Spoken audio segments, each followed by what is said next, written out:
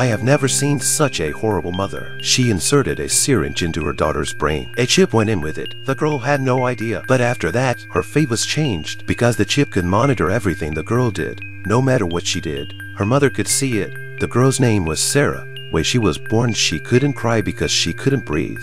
This scared Anna half to death, as she was a single parent. Anna took very good care of her. When Sarah was three years old, Anna took her to the park to play. She was attracted to a cat, but Anna was talking to someone else. When she turned around, Sarah suddenly disappeared. Anna searched the streets like crazy.